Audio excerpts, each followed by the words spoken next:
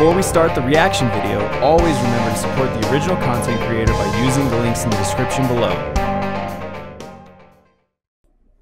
Hey everybody, how's it going? It is Axel Grave back with more reactions with the next today, hitting you with some more battle modes from Duo Dreamer.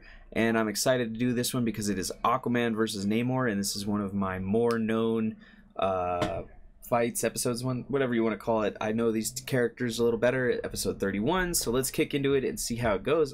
This has actually been done by Marvel and DC before. Oh, sorry, went the wrong way. And so I'm interested to see how similarly it goes. Obviously, it won't be the same because this is a sprite battle. It's more action-based than it count even in the comics were. But I'm, I'm excited. I really like these two characters, so to see them go at it is a, just a boon for me personally.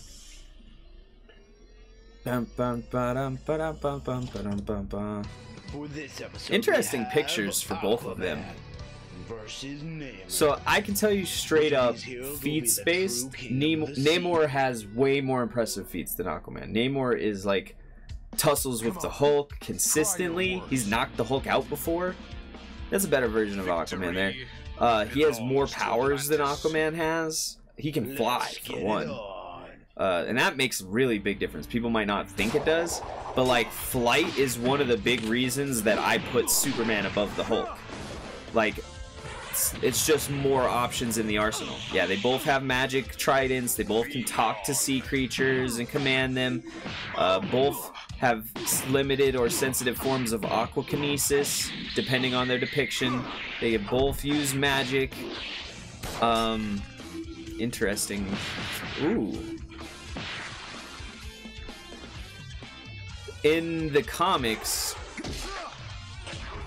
yeah, this one was a pretty quick victory for Aquaman. But realistically, in the comics, he had to ask for outside help, and Namor uh, Namor wouldn't ask for help, and that's why Namor lost in the comics. That was also back when Namor was sporting a ponytail, which a lot of people consider when Namor was at his weakest.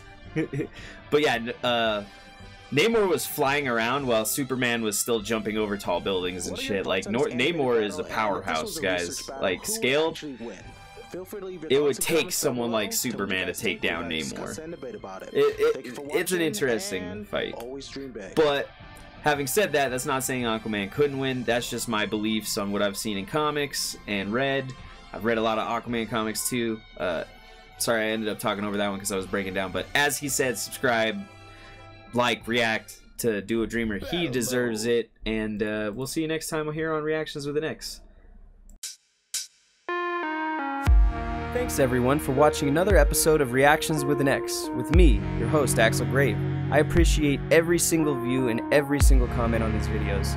If you enjoyed the video, remember to hit like to show your support and hit subscribe to see more reaction videos.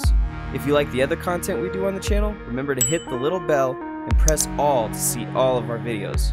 Finally, if you wanted to leave us a comment or a suggestion on other material we to do, or just to rip us to shreds, leave a note in the comments and we'll try to get back to you.